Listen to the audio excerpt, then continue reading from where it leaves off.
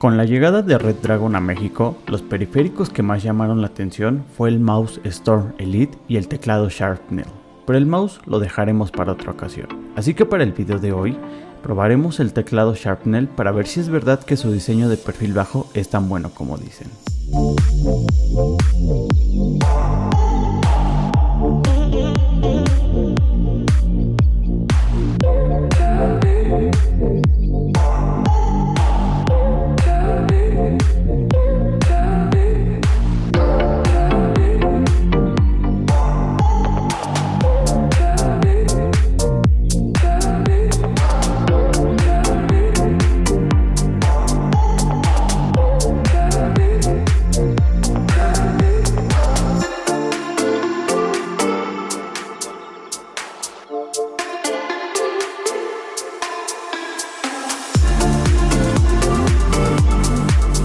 Para comenzar, empecemos hablando de los materiales, el formato y el diseño de este teclado.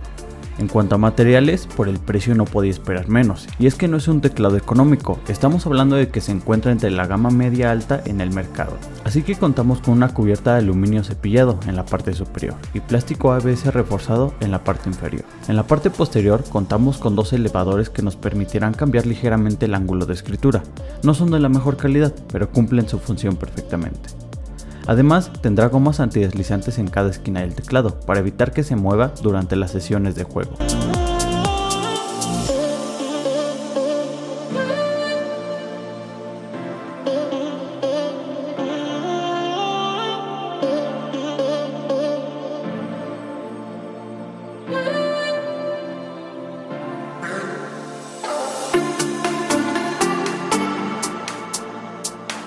Por último, en la parte superior derecha tendremos un cable USB de goma reforzado, con un pequeño filtro para mejorar la transmisión. El único detalle que no me gustó es que no podremos retirarlo, cambiarlo o usar otro tipo de cable con mejor calidad.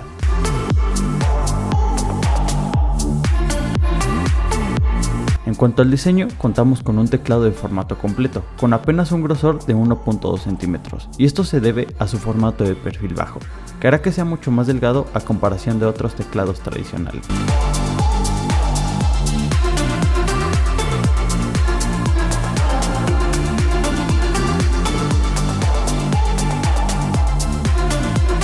Y antes de pasar a los apartados más interesantes, hablemos un poco de la iluminación y la personalización. Este teclado no resalta por la iluminación, ya que aunque cuenta con 5 niveles de intensidad de brillo, no será un teclado que compres por este apartado. Pero esto no quiere decir que la iluminación sea mala, simplemente no destaca en cuanto a intensidad a comparación de otros teclados. Durante el día, la iluminación al brillo máximo la notaremos muy poco, pero durante la noche es donde realmente destaca. Pero como dije, es una iluminación bastante decente. El punto positivo es que contaremos con un software dedicado para la personalización de la iluminación, en el cual podremos ir modificando la intensidad y la velocidad de los efectos. Y hablando de efectos, este teclado Sharpnail cuenta con más de 15 efectos de iluminación, que podremos ir cambiando mediante el software o directamente el teclado. Además, el software también nos dará la opción de configurar macros si así lo deseamos. Tal vez el Sharpnail no tenga la mejor iluminación, pero en cuanto a personalización tendremos varias opciones para modificarlo a nuestro gusto.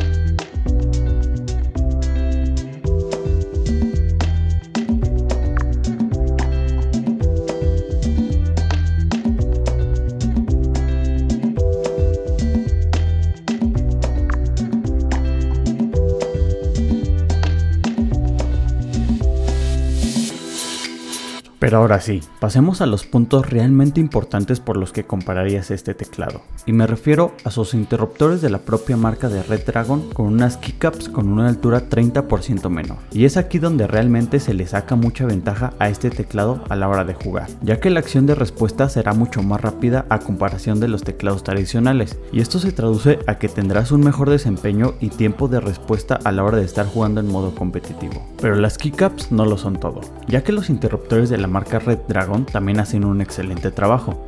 En este caso yo probé los interruptores Red Dragon Low Profile Blue, pero cabe mencionar que actualmente en México oficialmente por el momento solo está disponible la versión con interruptores Low Profile Optemu Blue.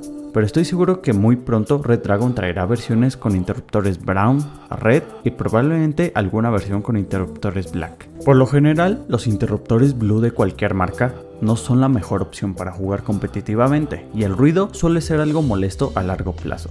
Pero estos interruptores con los que cuenta este teclado me gustaron demasiado, ya que responden muy bien ante cualquier situación, además de que la sensación y el ruido que generan son muy diferentes a cualquier otro interruptor que yo haya probado.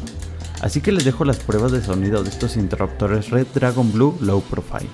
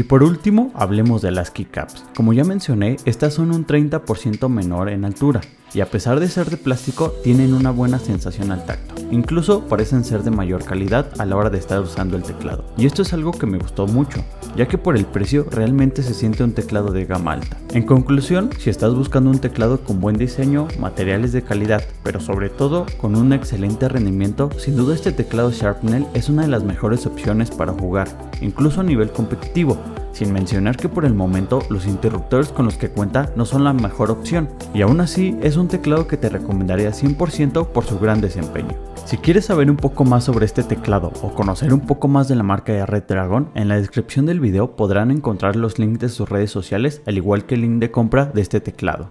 Y bueno amigos, hasta aquí el video del día de hoy. No olvides dejar tu like y suscribirte si aún no lo estás. Yo soy Ulises, esto es Mono Tecnológico y nos vemos en la próxima.